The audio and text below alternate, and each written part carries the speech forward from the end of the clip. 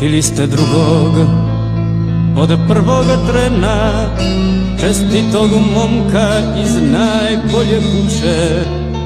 Još prije neg je postala žena Niste joj dali da je srce vuče. Htili ste drugog To ste joj rekli i to da šordi ne rastu na gradu i zato nek čuva. Sve časte stekli sve časte za nju čuvali na strani. Ljubi sam ljubi baš uče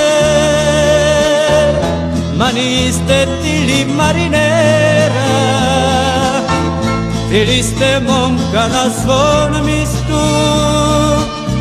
Htjeli ste zeta inženjera Ljubi sa ljubi baš učer Ja koji ne znam ti bi sada.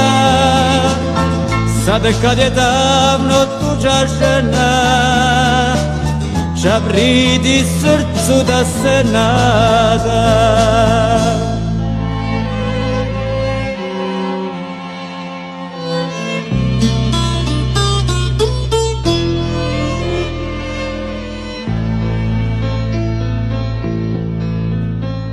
Niste joj dali ni da mi piše Kako se budi kada se svega siti I kako more priča sve tiše I kako često zaladi i liti. Niste joj dali da sreću krije A niste znali da u mraku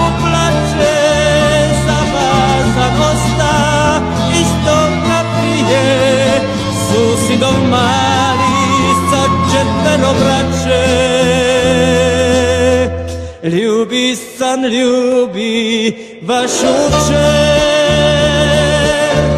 A niste tili marinera Tili ste momka na svom mistu. Tili ste zeta i